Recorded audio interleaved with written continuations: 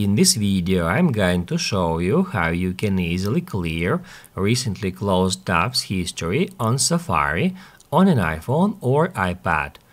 Be sure to watch the video to the very end so you don't make any mistakes.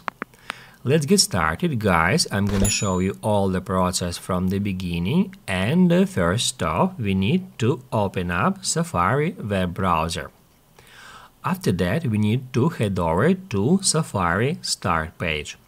Now I'm already on a Safari start page, however if in your case Safari start uh, uh, on a some website, first off you need to tap right here at that button and then tap at plus to head over to start page. On a start page, we can easily find a recently closed tabs history and to clear that history, all we have to do is just tap at clear all.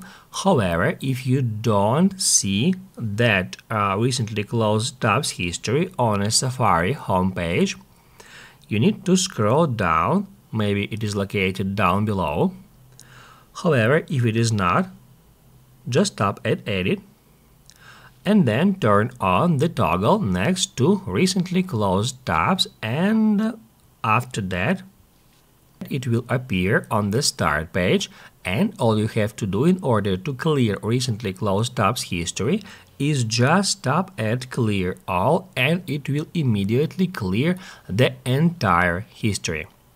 If this video was helpful for you, don't forget to hit the like button.